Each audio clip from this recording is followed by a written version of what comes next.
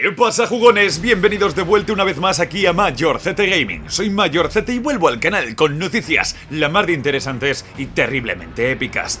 Vamos a hablar de Tiger Knight, un juego que nos encanta porque nos recuerda muchísimo al Mountain Blade Warband. Lo hemos tenido ya en el canal y es una gozada. Es totalmente gratuito, lo tenemos en Steam y es un título que nos ofrece acción y estrategia a partes iguales. Y en lugar de mostrarnos un universo de fantasía, está basado en la historia antigua. Tenemos a los antiguos chinos para luchar con ellos, con un total de hasta tres facciones. Y todo esto orientado a multijugador, en fin, no voy a ahondar mucho más en lo que es la presentación, tenéis lo dicho, vídeos en el canal.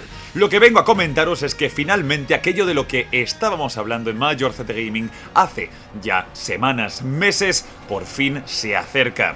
La facción de Roma. Y es que Tiger Knight Empire War es inicialmente pues un juego chino, que ahora mismo pues podemos jugar en Steam desde Europa también. Pero evidentemente faltaba una facción que realmente nos atrajera lo suficiente al público occidental como para jugar este juego y así consumirlo de forma masiva. Y me preguntabais vosotros mis suscriptores y los curiosos de YouTube que cuándo saldría esta facción de Roma, porque de hecho ya se había anunciado y hasta se podía jugar con el personaje romano pero sin levelear su equipamiento natural. Pues bien, por fin os puedo responder, será a mediados de este mes de febrero de 2017 que finalmente entrará Roma al juego. Y no lo hará sola, lo hará con además tres mapas distintos, uno basado en la guerra contra los bárbaros del Rin, en plan un poco rollo Teutoburgo, también otro mapa basado en la Galia y otro mapa más basado en los territorios de Cartago, el norte de África. Además de lo comentado, se expandirán los rosters de facción de las facciones ya presentes en el juego con algunas unidades extra,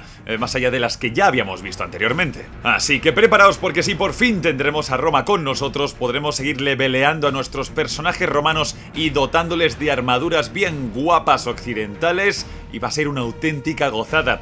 Las siguientes facciones ya estaban en votación y podían ser Partia, los indios, los japoneses o incluso los bárbaros. Así que podéis haceros una idea de lo que está por venir. De verdad os recomiendo muchísimo el juego, metedle un buen pedazo de like al vídeo si queréis oír más acerca del tema y lo dicho, os recomiendo que os lo bajéis y lo disfrutéis. Si queréis buscar más vídeos al respecto, pues ya sabéis, buscad Tiger Knight Major ZT y encontraréis diversos gameplays. Sin más, espero que me dejéis un comentario para saber qué os ha parecido esta increíble noticia y ya nos vemos en la próxima.